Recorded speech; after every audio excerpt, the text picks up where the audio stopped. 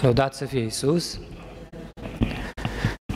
Am ajuns uh, cu mila Domnului în a patra duminică a Apostolului Mare, a pregătirii pentru Sfintele Paști, a patra chemare insistentă a Bisericii la convertire, la pocăință, la o întoarcere sinceră și serioasă cu rugăciune, cu lacrimi și cu post la Domnul, ca să scăpăm de pedeapsa rezervată celor ce sunt infideli legământului încheiat cu Domnul la botez. Inițial, duminica aceasta avea un foarte pronunțat caracter baptismal, însă din secolul al XIII-lea, Biserica Răsăriteană îl aniversează cu tâlc în această duminică pe Sfântul Ioan Scărarul, rămas celebru pentru cel mai complet tratat de medicină spirituală al perioadei patristice. Vreau să insist un pic pe acest aspect, pe acest caracter baptismal al Duminicii și a Evangheliei de astăzi, de Paști erau botezați în Antichitate credincioșii uh, care erau înscriși în uh, itinerarul de formare, de pregătire pentru primirea botezului și fiecare Evanghelie era menită să îi ajute să-și asume exigențele vieții creștine pentru a putea să primească botezul cu vrednicie. Este cazul și acestei Evanghelii. Dacă vă amintiți, săptămâna trecută a fost săptămâna Duminica Crucii, în care Hristos a cerut ucenicilor săi, fie celor apropiați apostolii, fie că era vorba doar de cei care credeau în El și vreau să-L urmeze, a cerut să se lepede de ei înșiși și să-și ia crucea. Și abia așa pot să-L urmeze. Dar Evanghelia de astăzi explică sau dă detalii despre cum se poate face lucrul ăsta la modul practic. Da? Biserica din acest motiv folose, o folosește pentru a pregăti credinciosul pentru primirea botezului. Dacă ne uităm la vindecarea care se petrece și exorcismul din spatele ei, vedem că avem de face cu un demon, nu e vorba de o boală, că am putea să spunem că e vorba de epilepsie, nu? Sunt toate, toate semnele unei epilepsii, dar sunt numai semnele fizice ale epilepsiei, da? Pentru că aici Evanghelistul nu vrea să ne spună că epilepsia are în spate un demon. Da? Nu toate bolile fizice sau psihice au în spate un demon ci unele dintre aceste boli au manifestări exterioare, fizice, asemănătoare cu, acest, cu, uh, cu, cu demonizarea. Da? Când, apa, când demonul stăpânește un om, trupul și psihicul lui este scăpat de sub controlul minții. Da? Și apar niște manifestări care seamănă cu, seamănă cu anumite boli. În acest caz, E vorba de o posesie demonică care are aceste manifestări, exprimări în exterior, asemănătoare cu epilepsie. Da? Dar pe noi aici ne interesează ce tip de demon este. Nu? Este, este demnul pe care spune Iisus apostolilor la sfârșit, acest neam de diavol cu nimic nu poate să fie izgonit decât numai cu rugăciune și cu post.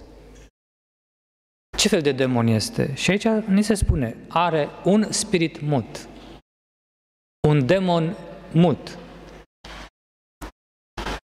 Ce înseamnă că e mut? Înseamnă că odată, odată este că e surd, că nu aude, da? și că e mut, că nu comunică. Dacă mergem în spate, nu,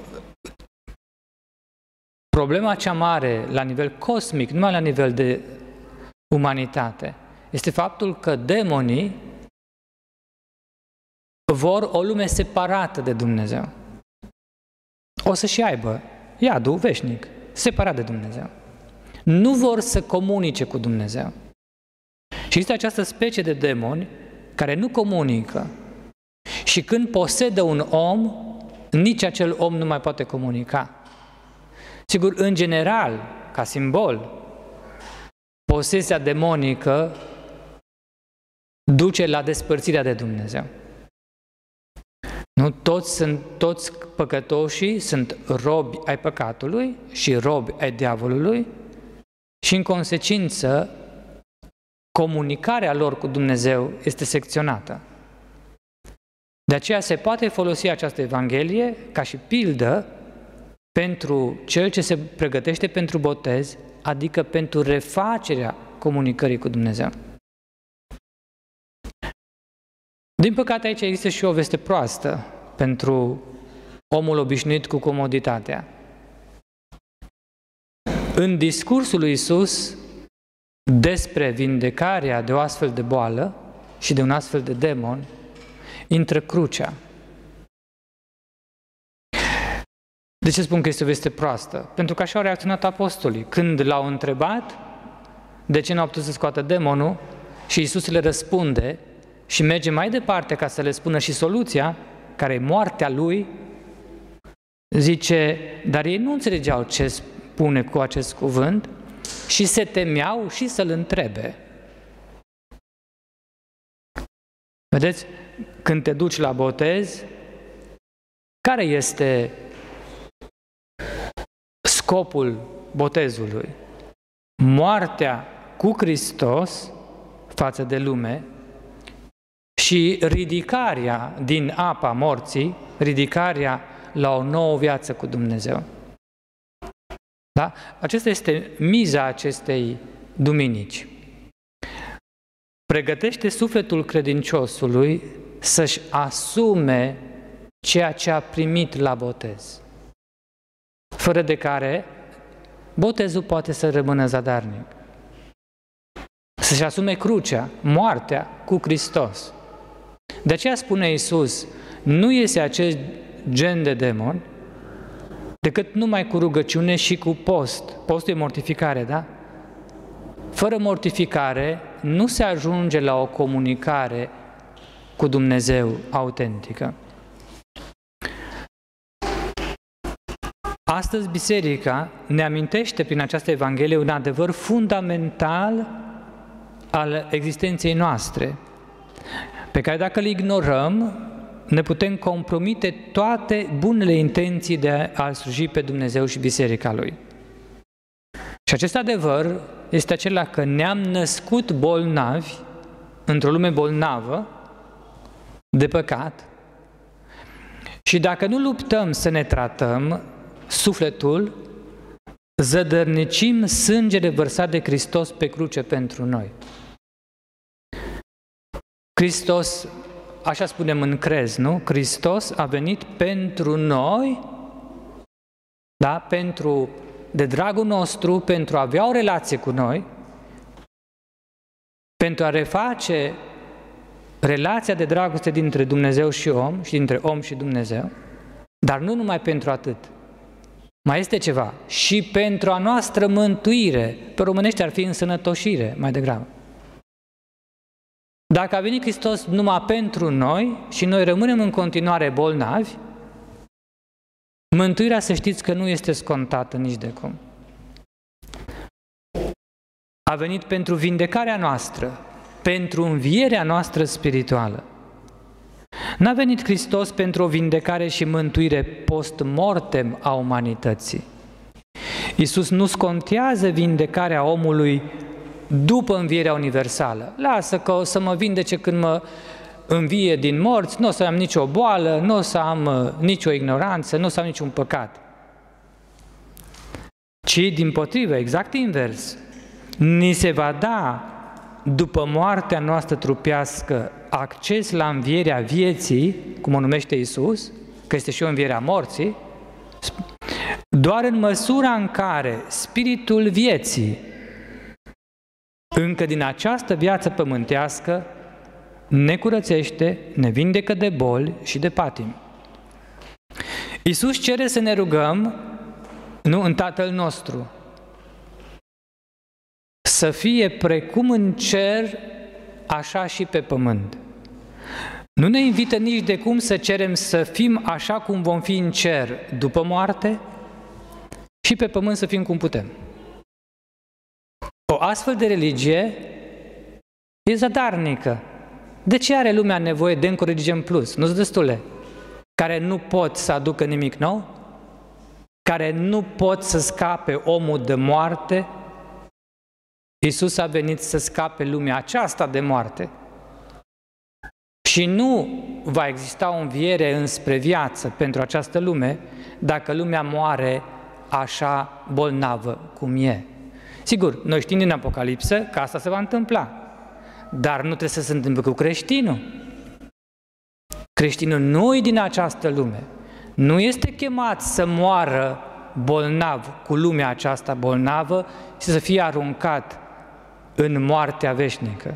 Este chemat să se vindece acum în viața aceasta pământească și să fie acum în această viață pământească precum este în cer. Sigur, sufletește, că trupește nu se poate până la moartea fizică și învierea fizică. Dar cine sufletește nu se vindecă în această viață, nu va avea acces la învierea vieții după moarte. După exorcismul de Evanghelia citită astăzi, vreau să remarcăm reacția audienței, cei care se uită, poporul, mulțimea. Constată că acest copil, care era viu, e ca mort. Vindecarea credinciosului de boala păcatului trebuie să treacă cu necesitate printr-o stare asemănătoare morții. Încât lumea care te vede, după ce ai trecut prin această stare, să poată să spună că ai murit. Așa citim în versetul 26, copilul a rămas, n-a zis că e mort, a rămas ca mort. Încât mulți ziceau că a și murit, dar ei nu știau ce vorbesc. Botezul nu este moartea cu Hristos și învierea cu Hristos. Nu? Iisus îi întinde mâna copilului care este cam mort și îl pune pe picioare să stea drept. Botezul care nu trece printr-o moarte față de lume, față de păcat și de diavol, nu are putere vindecătoare. Rămâne un simplu act sacru, valid în sine, Dumnezeu își realizează partea sa, dar un act care își păstrează potențialul vindecător până când credinciosul își asumă practic mortificarea, moartea cu Hristos. Acest gen de demon este numai cu rugăciune și cu post, cu mortificare. Dacă noi nu ne asumăm mortificarea sau în limbajul duminicii precedente, dacă nu ne luăm crucea, dacă nu ne lepădăm de tot ce avem, noi nu putem să înviem cu Hristos. Hristos, văzând copilul surdomut, vede de fapt umanitatea pe care El a asumat-o prin întrupare, umanitate care nu se va vindeca de boala ei cronică, decât trecând-o prin patima și moartea sa, făcătoare de viață.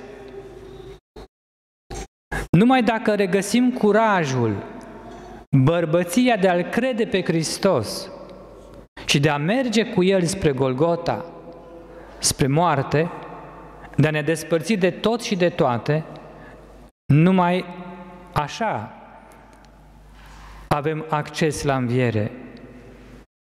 Numai atunci când lumea aceasta ne va constata decesul față de utilitatea vieții noastre în societate, pe românește, când îți spune lumea, ăsta nu-i bun de nimic. Era bun la un moment dat, la locul de muncă, în societate. Era un om de folos. În biserică, era bun în biserică, ajuta la multe. Acum nu mai bun de nimic, s-a stricat. Numai atunci Domnul ne va întinde mâna sa, ne va ridica din mizerie și ne va da puterea sa de a sta drepți în picioare într-o lume întoarsă pe dos. Nu pot să nu amintesc lucrul acesta. Suntem într-o lume întoarsă pe dos. Săptămâna aceasta ne-a venit știrea din uh, Marea Britanie că fiul marelui uh, predicator uh, baptist Billy Graham, Franklin Graham, luptând lupta pe care trebuia să o ducă Biserica Catolică în Anglia, dar din nefericire ăsta e nivelul, a reușit să învingă lumea întoarsă pe dos. Într-o mică bătălie, o, războiul este mare și nu este cu oameni, este cu diavolul. Ăsta mut, da? Bătălia a fost aceea prin care îi se interzicea credinciosului creștin să afirme public că homosexualitatea este păcat. N-a obținut lucrul ăsta, este prea mare pentru lumea de astăzi, întoarsă pe dos, dar totuși a obținut ceva important. A obținut dreptul legal de a spune că Biblia spune că este păcat.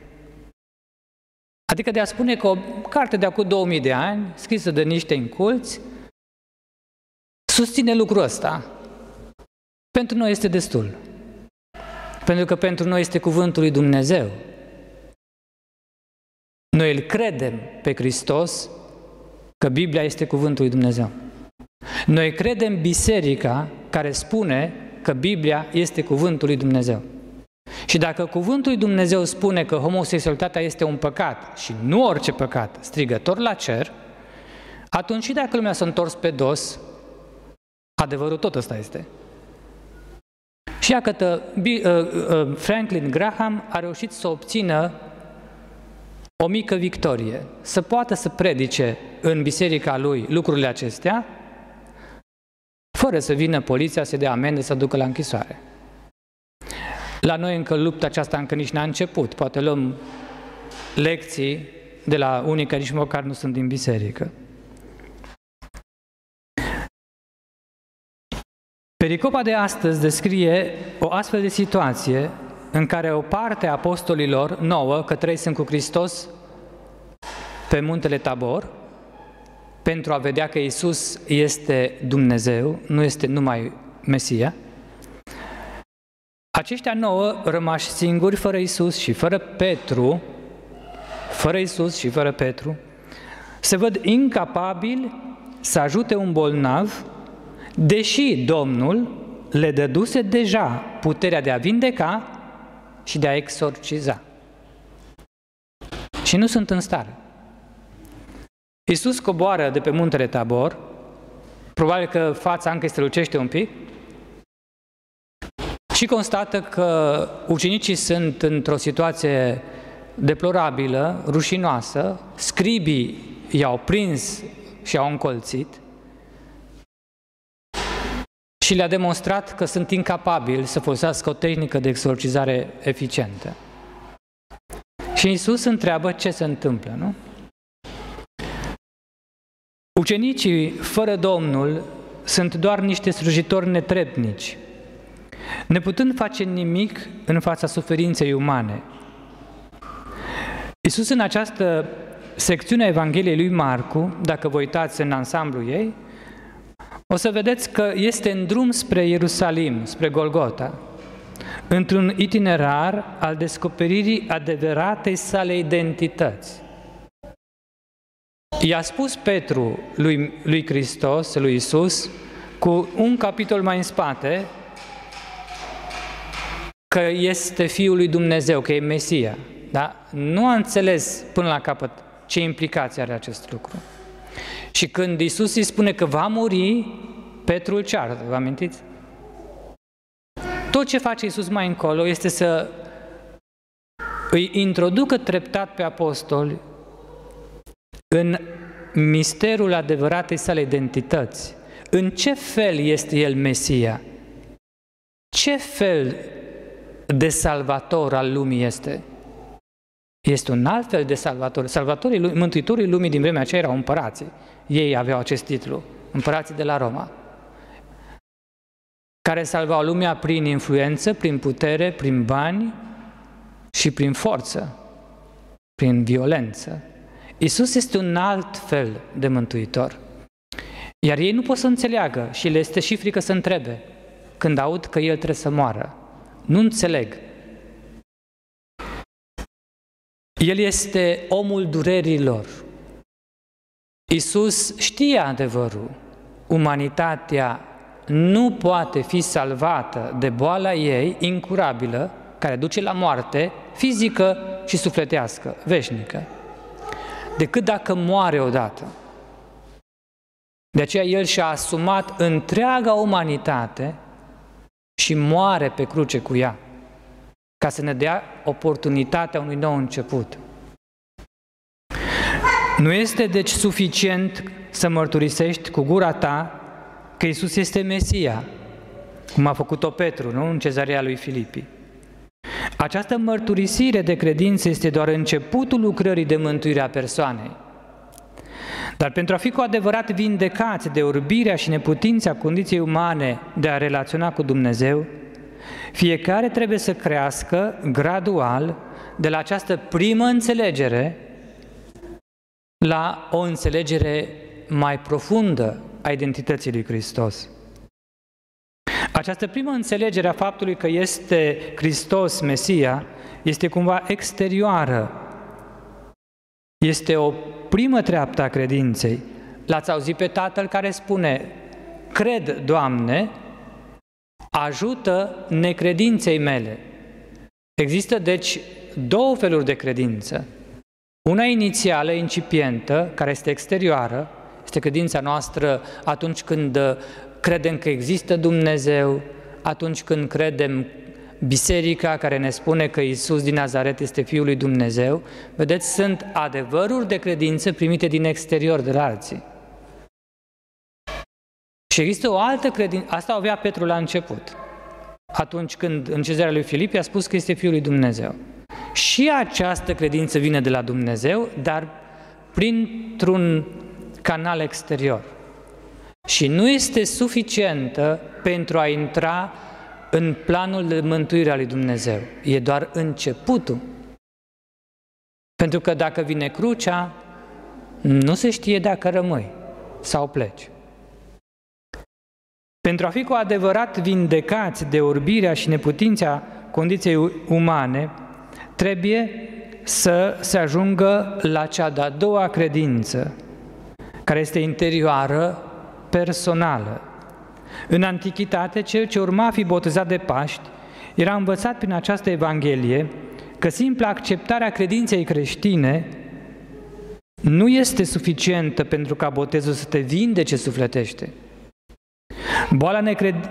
Boala necredinței este mai adâncă.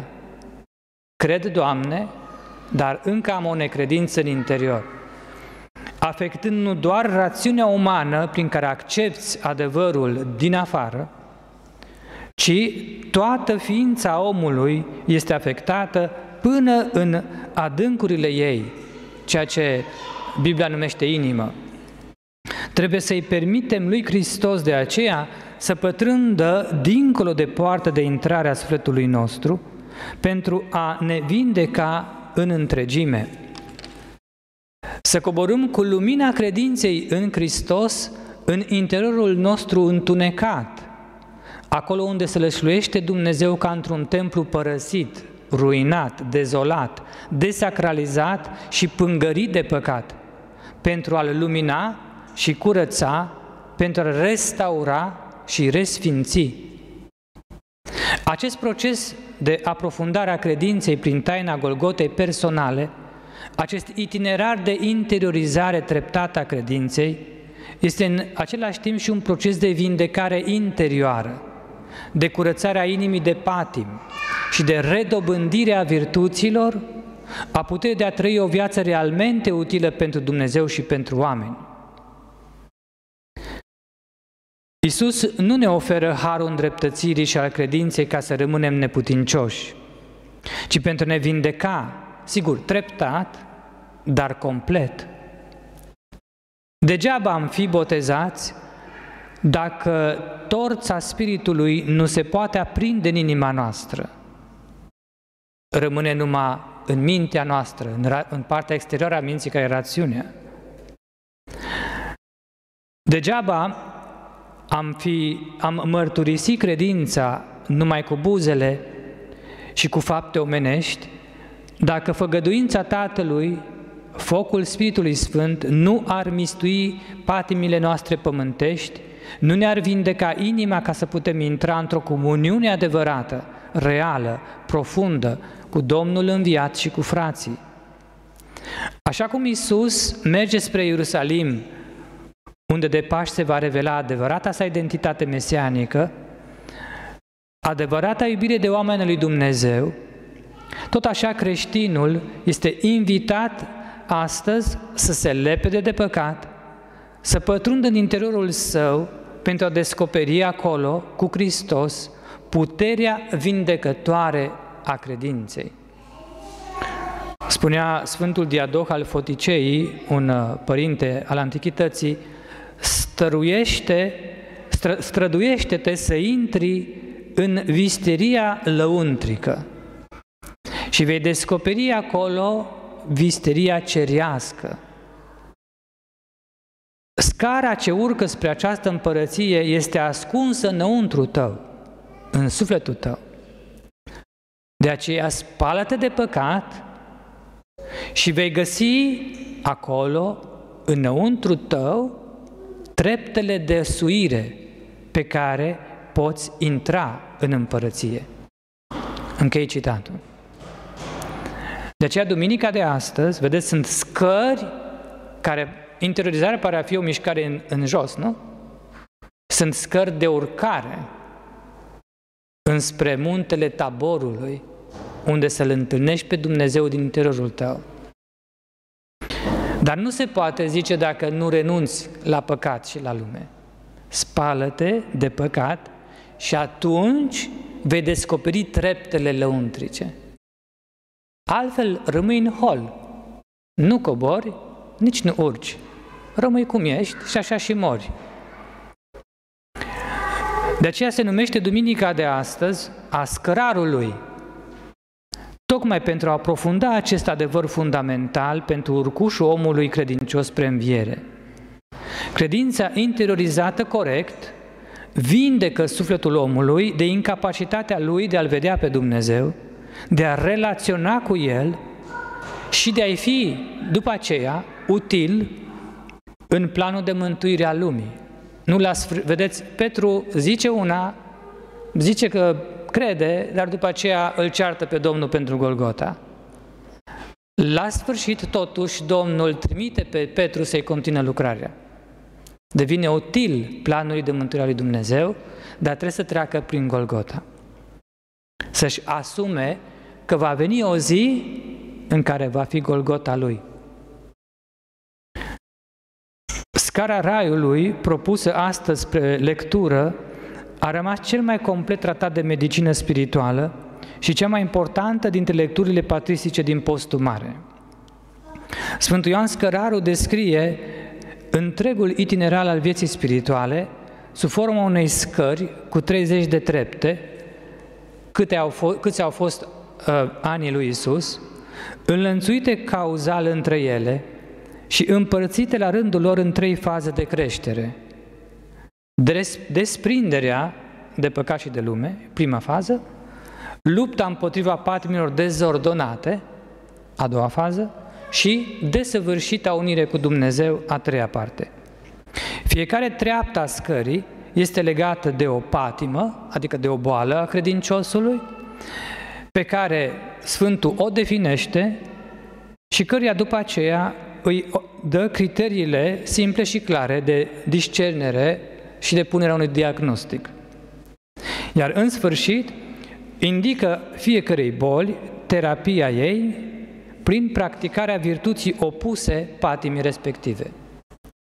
Sigur, vă invit, nu insist, dar vă invit să căutați, să aveți uh, în bibliotecile voastre această carte. Este una dintre cele mai importante uh, lucrări pe care creștinul trebuie să o parcurgă în viața lui. O credință care nu mai are puterea de a vindeca oamenii este o credință amăgitoare, falsă. Este o credință care a pierdut contactul cu Hristos. Iar fără Hristos am văzut că ucenicii sunt inutili. Fie ei apostoli, fie preoți, episcopi, călugări sau credincioși laici, se pierd în mulțirea, mulțimea cea mare a necredincioșilor și merită mustrarea Domnului. Generație necredincioasă, adulteră, cât mai stau cu voi? Biserica care nu se mai distinge de lumea în care este inserată, inserată fără a aparține, atunci când caută să aparțină lumii, se desparte de Hristos și în consecință își pierde capacitatea de a exorciza lumea în perioada istorică pe care i-a încredințat-o Domnul. Totul este cu putință celui care crede, dar fără Domnul, ucenicii nu pot face nimic. Întunericul care s-a lăsat și peste lumea noastră nu poate fi exorcizat fără restabilirea contactului direct cu Hristos. Nu este suficient că a dat Hristos bisericii putere să exorcizeze lumea. Nu este suficient că a dat Hristos bisericii puterea să vindece prin maslu. Să despartă oamenii prin botez de lume și să-i unească cu, cu Dumnezeu. Nu este suficient că i-a dat Hristos această putere, pentru că și acestor nouă ucenici le-a dat și n-au fost în stare să facă nimic cu ea, pentru că nu erau desăvârșiți. Și pentru că atunci când nu ești desăvârșit, poți să faci ceva doar dacă este maestru cu tine. A trebuit să vină Hristos lângă ei ca să aibă putere să meargă mai departe. Boala lumii acesteia, atât de dureros reprezentată zilele acestea, chiar fizic, de pandemia nu? care ne-a cuprins, este păcatul și consecințele lui. Șirul de crize fără, de, fără precedent prin care trece omenirea în ultimele secole, nu? umanism radical, revolta protestantă împotriva bisericii, revolta împotriva, împotriva oricărei autorități, secularizarea radicală, socialismul, comunismul, nazismul, apostazia, fundamentalismul pseudo-religios, diluarea Evangheliei, actuala modificare genetică a conștiinței europene post-creștine îmbătată de liberalism și neomarxism, sclavia noi dictatura relativismului, toate aceste crize au, așa cum ne învață de un mileniu și jumătate scara Raiului, cauză fundamentală păcatul și patimile umanității decăzute. Umanitate înrobită de zeul libertății și care se crede ajunsă la vârsta emancipării de Dumnezeu și de orice autoritate și liberă să-și fie sieși suficientă și utilă. Scara ne cheamă înapoi de la această rătăcire. Ne cheamă la condiția reală a omului dinaintea lui Dumnezeu. Ne cheamă înapoi la starea copilăriei evanghelice, la a primi ca un copil soluțiile de la înțelepciunea dumnezeiască. Dacă nu vă veți face ca, un, ca și copiii aceștia, nu veți intra cu niciun chip în împărăția lui Dumnezeu. Omul se crede acum uh, trecut de vârsta adolescenței, trecut chiar de vârsta emancipării de Dumnezeu, se crede adult și Dumnezeu a atât de îmbătrânit că l-or și omorât. Nu spune nici că a murit Dumnezeu. Nu se comportă Europa de aproape 100 de ani ca și cum Dumnezeu a murit. Cine l-a omorât? Noi l-am omorât. Noi cei care spunem că suntem credincioși. Pentru că dacă nu-i permiți lui Dumnezeu să te vindece, lumea o să constate simplu că nu te-ai vindecat. Și deci Dumnezeu va deveni complet irelevant pentru lume. Dacă nici măcar pe credincioși nu-i poate vindeca și exorciza, cum o să poată să exorcizeze, să vindece întreaga lume?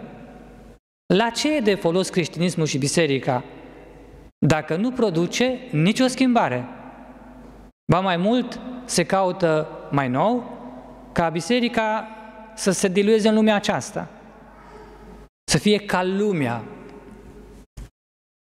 La ce e de folos o astfel de instituție? La ce e de folos o astfel de religie?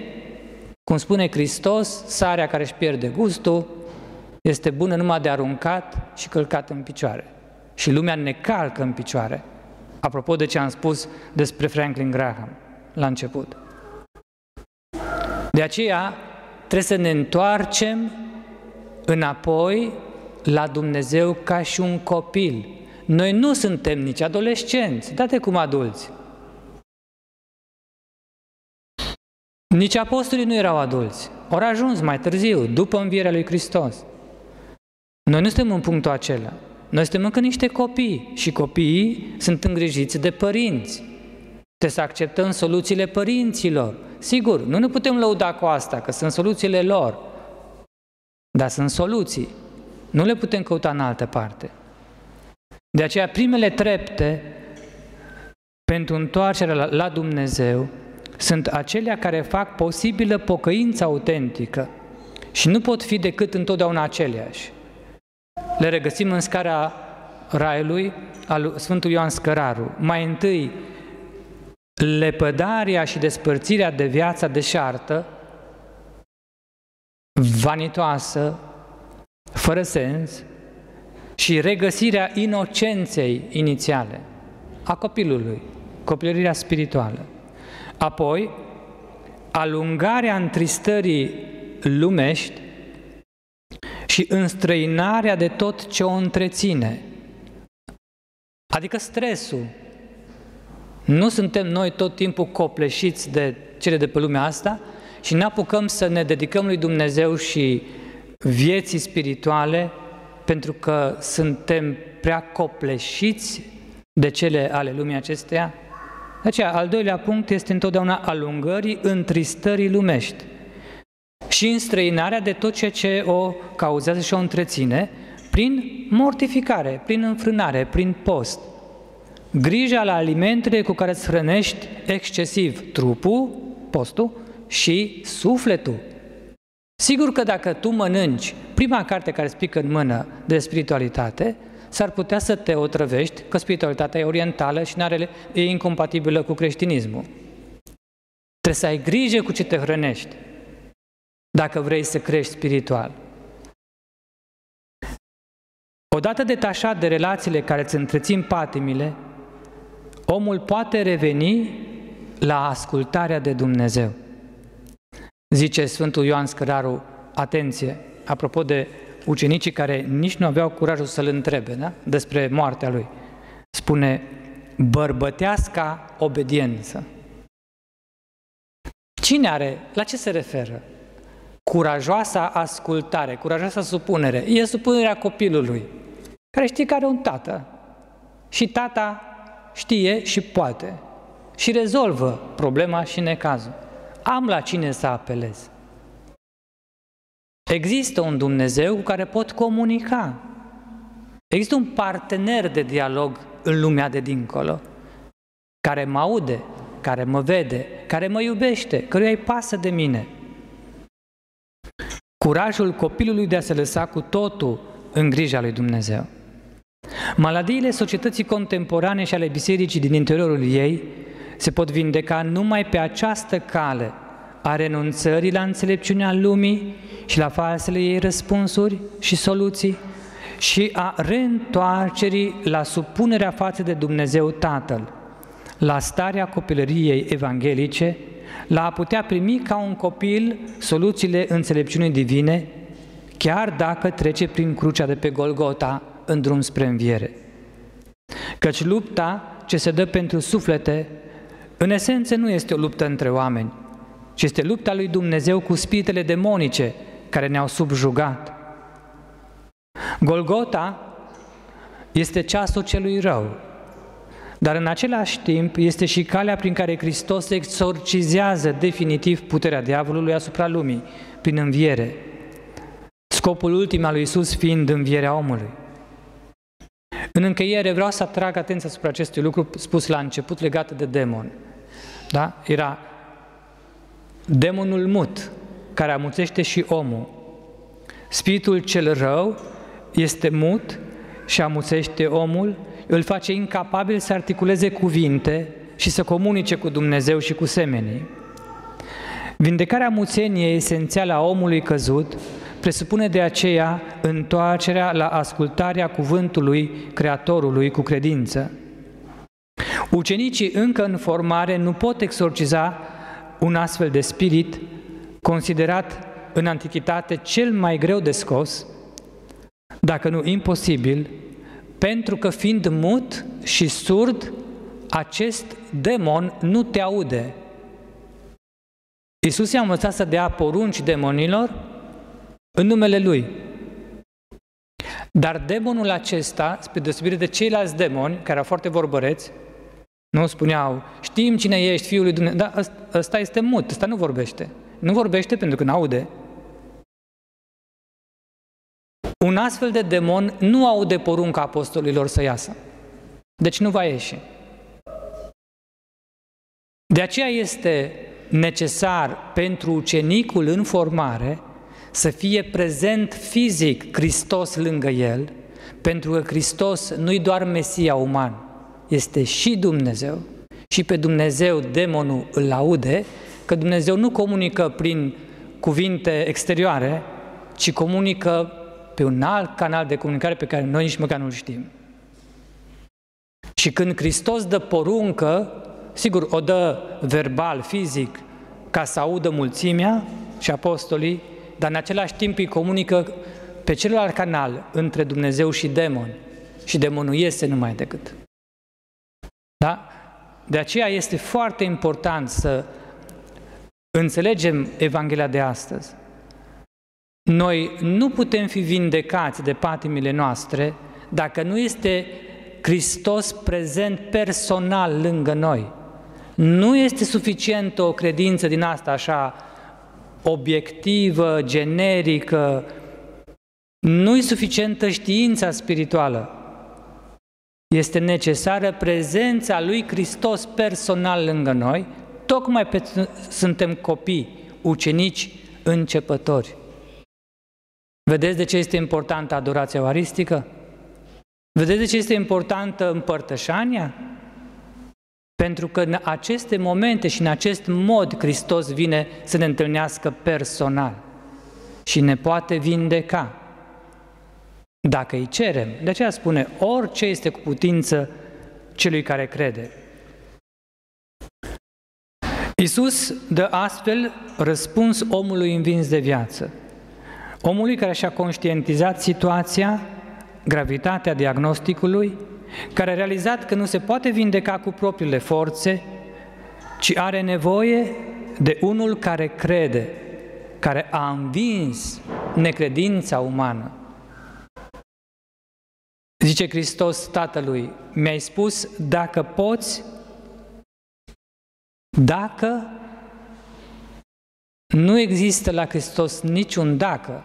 Hristos, dacă este prezent în fața ta, Sigur, tu nu poți, că tu ești slab, dar El poate. Așa s-au vindecat Sfinții. Cum au ajuns Sfinții Sfinți? Crezi că au avut nu știu ce mare uh, tehnologie și știință? Nu. Sfinții au ajuns în, cum zice Ioan al Crucii, în, în centrul mizeriei lor. Au ajuns în inima lor și au constatat cât sunt de neputincioși și de mizerabili. Și atunci au strigat de acolo către Domnul, așa cum Hristos a strigat pe cruce.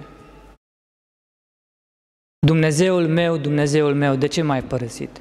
Și răspunsul la acest strigăt pe cruce este învierea. Tatăl l-a înviat pe Fiul. Tatăl ne va învia și pe noi, dar trebuie să ne punem pe cruce cu Hristos. Trebuie să ne asumăm mortificarea noastră pentru ca relația noastră cu Dumnezeu să fie refăcută odată pentru totdeauna. Să ne dute bunul Dumnezeu, rugăciunile întregii biserici, a sfinților și a îngerilor din ceruri, rugăciunile Sfinte Fecioare Maria și mișlocirile ei, să putem și noi spune cu acest Tată din Evanghelie astăzi, cred, Doamne, insuficient, ajută Tu necredinței mele. Amin.